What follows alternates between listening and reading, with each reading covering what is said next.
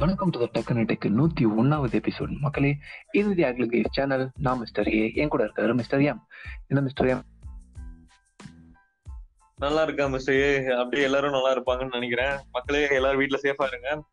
எல்லாத்துக்கும் போர் அடிக்கும். அதனாலதான் நாங்க இந்த நியூஸ் பண்றோம். அப்படின்ட்டு சும்மா ஒரு பிட்ட போட்டு ஆரம்பிச்சிடும் ஃபர்ஸ்ட் நியூஸ் என்னன்னா ஐசிஇஏ அப்படின்னா Indian Cellular and Electronic Association இவங்க தான் இந்தியாலேயே பெரிய எலக்ட்ரானிக் அசோசியேஷன் அவங்களே சொல்லிக்கிறாங்க. ஸோ இவங்க என்னன்னா கவர்மெண்ட் கிட்ட வந்து கோரிக்கை வச்சிருக்காங்க. மோடிக்கு வந்து லெட்டர் எழுதிருக்காங்க இந்த மாதிரி செல் மொபைல் அண்ட் லேப்டாப்ஸையும் எசென்சியல் சர்வீஸா மாத்துங்க. அப்பதான் அமேசான் பிளிப்கார்ட்ல எல்லாத்துலயுமே எங்களால திரும்பவும் இதை செல் கொண்டு வர முடியும். அப்புறம் சர்வீஸ் சென்டர்லாம் திரும்பவும் ஆப்ரேட் பண்ண முடியும் அப்படின்னு சொல்லியிருக்காங்க. ஏன்னா எசென்சியல் சர்வீஸ்ங்கிறது கண்டிப்பா சப்ஜெக்டிவ் தான். ஒவ்வொருத்தங்களுக்கும் ஒவ்வொன்று எசென்சியல்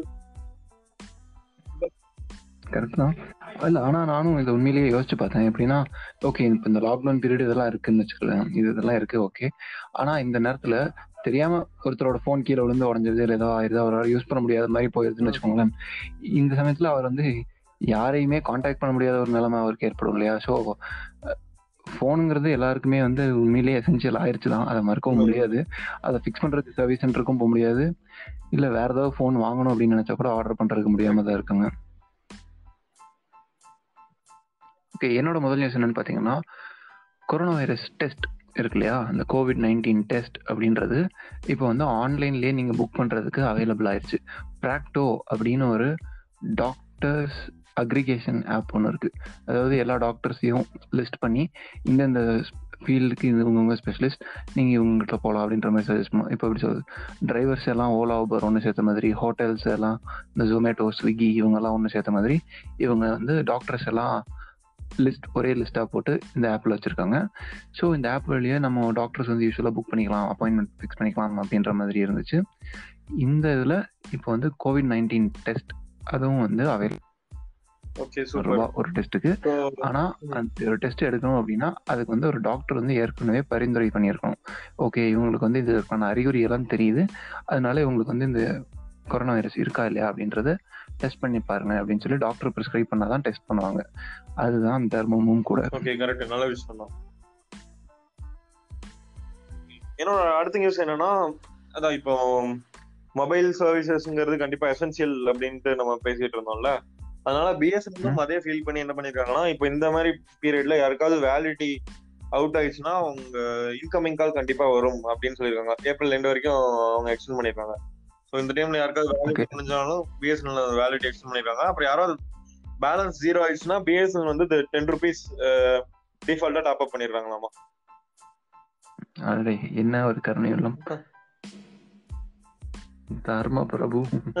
அதான் பத்து ரூபான்னு கொடுத்ததுக்கு இத்தனை மினிட்ஸ் கொடுத்தா கூட பிரச்சனை இல்ல. ஆமா ஆமா. ஓகே அட்லீஸ்ட் அது தராங்களே அப்படின்னா சந்தோஷம் பண்ணோம் ஆமா ஆமா உண்மைதான். ஓகே கூகுள் வந்து வருஷா வருஷம் ஏப்ரல் ஒன்னாம் தேதி அன்னைக்கு ஏதாவது காமெடியா வீடியோ போடுவாங்க. முடிஞ்ச வரைக்கும் ஆரம்பத்துல அட்லீஸ்ட் இந்த வீடியோட ஓப்பனிங்கை பார்க்கும்போதாவது மக்கள் ஏமாந்துருவாங்க. அந்த மாதிரி ஒரு வீடியோ போடுவாங்க. இந்த அது அது வந்து ஏப்ரல் ஃபுல் ஜோக் அப்படின்ற பேர்ல கூகுள் வருஷ வருஷம் பண்ணிட்டு தான் இருக்காங்க. ஆனா இந்த வருஷம் அதை பண்ண மாட்டாங்க அப்படின்னு சொல்லியிருக்காங்க அவங்களே. இந்த வருஷம் நாங்க பண்ண இவ்வளோ போராட்டம் பண்றதா இல்ல. கரெக்ட் ஆமா. அப்படின்றத வந்து அவங்க கம்பெனிக்குள்ள ஒரு இன்டர்னல் மெயில் ஒன்று அனுப்பியிருக்காங்க. மெயில் அனுப்பிட்டு ஓகே அடுத்த வருஷம் இன்னும் பிரைட்டா அதுக்கப்புறம் சூப்பரா ஜோக் போட்டுக்கலாம் அடுத்த வருஷம் இந்த வருஷம் ஆமா. அப்படின்னு முடிவு எடுத்திருக்காங்க.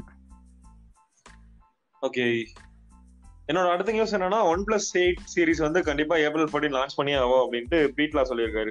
பீட்லாங்கிறவர் தான் ஒன் பிளஸோட சிஇஓ ஏன்னா நாங்க ஆல்ரெடி ரொம்ப காலமா தள்ளி போட்டோம். அதனால இனிமேல் தள்ளி பண்ண மாட்டோம். ஒன் பிளஸ் எயிட்ட கண்டிப்பா லான்ச் பண்ணி ஆகும் ஏப்ரல் ஃபோர்டீன் லான்ச் பண்ணுவோம்.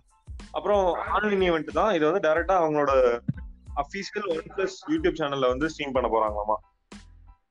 ஓகே ஓகே ஆல்ரெடி கேள்விப்பட்டதான் இந்த ஒன் பிளஸ் மூணு போனோட வர போறாங்க ஒன் பிளஸ் எயிட் லைட் அப்புறம் எயிட் லைட்டுங்கிறது தான் பேர் மாத்திட்டாங்க. அது என்னன்னு அப்புறம் வரேன் எயிட் லைட் அப்புறம் எயிட் அப்புறம் அப்படின்னு மூணு போனு இதுல வந்து அவங்க புதுசா என்னெல்லாம் பண்றாங்கன்னா இந்த தடவை புதுசா ஒன் டுவெண்ட்டி ஹர்ஸ் ரெஃப்ரெஷ் ரேட்டோட போன்ஸ் கொண்டு வர போறாங்க. அதுக்கப்புறம் ஒன் பிளஸ் எயிட் லைட் அப்படிங்கறது வந்து எயிட் லைட்டுங்கிற பேர் இருக்காது. அது வந்து ஒன் பிளஸ் எக்ஸோட சக்சரா ஒன் பிளஸ் ஜி அப்படின்ட்டு பேர்ல வரும் அப்படின்னு சொல்றாங்க. அதே- அதே மாதிரி செராமிக் பேக்கோட வருமா? தெரியல இப்பதான் செராமிக் பேக் தான் சாமி தவிர வேற யாரும் பண்றது இல்லையே. ஆமா ஆமா ஆமா. ஓகே என்னோட கடைசி நியூஸ் என்னன்னு பாத்தீங்கன்னா இந்தியாவில் வாட்ஸ்அப்ல ரயில் விட்டுட்டு இருந்த எல்லாருக்கும் கொஞ்சம் வருத்தம் தரக்கூடிய ஒரு நியூஸ் தான். எல்லாரும் முப்பது செகண்டுக்கு ஸ்டேட்டஸ் கொடுத்தா அவனுக்கு முப்பது செகண்ட் முப்பது செகண்டாவே முந்நூறு முந்நூறு ஸ்டேட்டஸ் வச்சு மணிக்கணக்கில் ஸ்டேட்டஸ் ஓட்டுறானுங்க ரயில் விடுறானுங்க அப்படின்னு சொல்லிட்டு வாட்ஸ்அப்காரங்க முடிவு பண்ணிட்டாங்களோ என்னவோ தெரில இவங்களுக்கு என்ன குவாரண்டைன்னு சொல்லி வீட்டில் உட்காந்தாலும் உட்காந்தானுங்க ஒருத்தனும் சும்மா இல்லாமல் அத்தனை பேரும் லென்த் லென்த்தாக வீடியோ போட்டு நம்ம வாட்ஸ்அப் சர்வரை முடிச்சு விட்ருவானுங்க போலன்ட்டு. இனிமேல் யாரும் முப்பது செகண்டுக்கு ஸ்டேட்டஸ் வைக்க முடியாது. பதினஞ்சு செகண்ட் தான் ஸ்டேட்டஸ் வைக்க முடியும். அப்படின்னு ஃபீச்சரை மாத்தி விட்டுருக்காங்க. அவங்களா எந்த அனௌன்ஸ்மெண்ட்டும் பண்ணல. சொல்லாம கொள்ளாம லிமிட்டை கட் பண்ணிட்டானுங்க பதினஞ்சு செகண்டா தூக்கி விட்டாங்க. ஆமா. நம்ம ஆளுங்க அந்த அளவுக்கு விளையாண்டுருக்கானுங்க. அதான் இது என்னன்னா இந்த ஃபீச்சர் இந்தியாவுக்கு மட்டும்தான். ஃபீச்சர் கிடையாது. இந்த லாக்கு ஆமா. ஓகே. என்னோட கடைசி நியூஸ் என்னன்னா இன்டர்நெட் ஆர்கைவ் அப்படின்ட்டு யூஎஸ் கம்பெனி ஒன்று இருக்கு. அவங்க வந்து நேஷனல் எமர்ஜென்சி லைப்ரரி அப்படின்னு ஒன்று ஆரம்பிச்சிட்டாங்க.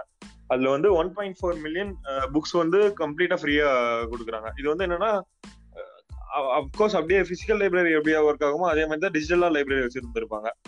இப்போ நான் ஒரு டிஜிட்டல் புக் சப்ஸ்கிரைப் பண்றேன்னா அது என்கிட்ட தான் இருக்கும். நான் வந்து டெம்பரரியா ரெண்ட் பண்ணிக்கலாம். அதுக்கப்புறம் திரும்ப நான் கொடுத்துடணும். ஸோ ஸ்டூடெண்ட்ஸோ இல்ல ரிசர்ச்சர்ஸோ அவங்க வந்து வெயிட் லிஸ்ட் வெயிட் பண்ணணும்.